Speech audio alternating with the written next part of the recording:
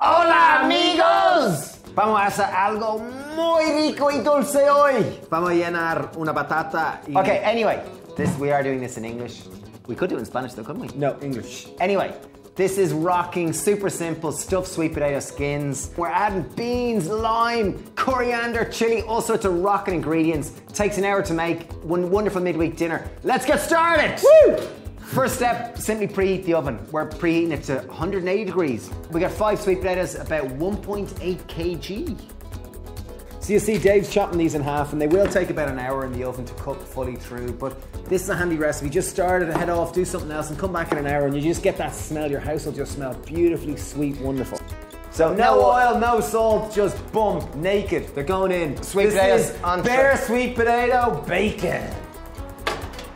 Baking, that is, right? Baking, not bacon. So we're just gonna bake them for about an hour. One hour in the oven.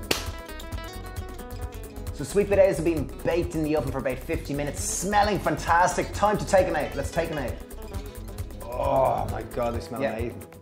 So they smell amazing. First step we're gonna do is we're gonna take the sweet potatoes, make sure and use a tea towel because they're really hot. And you don't want to burn your hands. Yeah, so you just wanna scoop out the inside flesh, the sweet potato, and whack it into a bowl, nice big mixing bowl, and put the jackets back on the baking tray. Make sure and leave the oven on because as soon as we scoop out the flesh, we're gonna put the, the jackets back in on the baking tray to bake for another 10 minutes to crisp up. Okay, so here, here they are. Jackets are ready. See, they're nice and crispy. You've scooped out all the filling. There's the filling there. And we want to pop the jackets back in the oven for 10 minutes while we make the filling.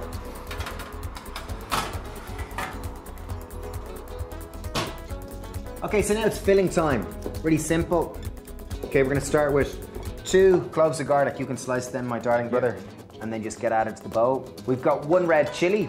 Uh, we're gonna de-seed them, cut them in half, take out the seeds, and put in, what do you reckon, the whole chili? Yeah.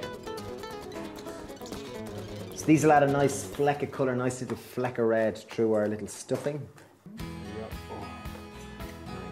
Okay, next up, Mexican beans. We've got one lime. Don't we?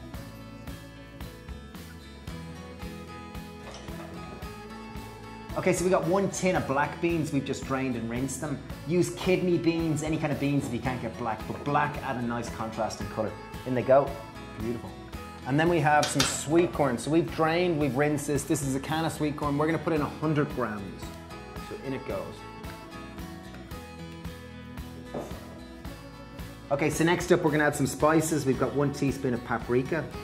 We've got two teaspoons of salt. So we've got a good, large, generous pinch of black pepper. about half a teaspoon, and then we've got tea two, two, two, teas, two Tea, two, teaspoons, two, tea. two teaspoons of ground cumin. Next up, two scallions. Steve's chopping them at an angle here because he's cool and hip and with it. So use the full length of the scallion because we want the green gone through it. Green onions, in they go! Okay, last thing, absolutely essential in any Mexican cooking is Coriander! aka If you, don't like cilantro. if you don't like coriander or cilantro, you could replace it with parsley. I wouldn't be too too detailed about getting it nice and fine because a bit of rough leaf is lovely through it. Beautiful smell of it. Okay, bingo. Now it's mixy mixy Now, time. here we go, mix it around. Oh, look at that.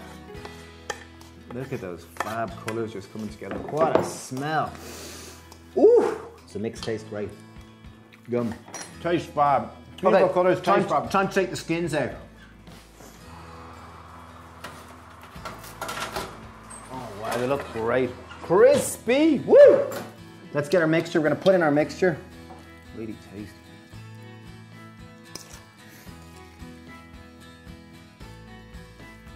Mix, spreading the mixture amongst the 10 skins.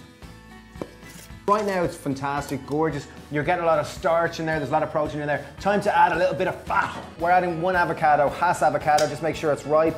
Okay, grab a spoon and just scoop out a little bit. Just put them in the top. Okay, so there we are. Absolutely rocking delicious, smell amazing.